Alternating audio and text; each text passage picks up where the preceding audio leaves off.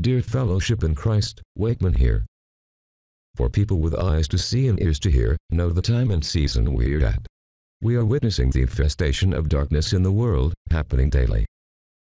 During my morning prayers today, I was inspired by the Holy Spirit to share this message with you. Now that God has lifted the veil of deception from our eyes, allowing us to see and to understand, we are getting close to the beginning of sorrows. What is it more important? To be able to hear Jesus' voice, or to keep on searching for the Antichrist? If Jesus Christ called you today, would you be able to hear his voice? This video is a call for us to be vigilant and to not allow the enemy, the first narcissist, also known as Lucifer, to hijack our light, to keep us in darkness of doctrine of devils and deception. Remember that Jesus loves you and wants to be in relationship with you. Even when it seems like Jesus is silent, his incredible love isn't. It never ends. Even in the silence, even when we can't discern it. When we stay in relationship with Jesus Christ and seeking Him with a constrict and sincere heart, we are transformed and start to listen to Jesus and understand where He is leading us.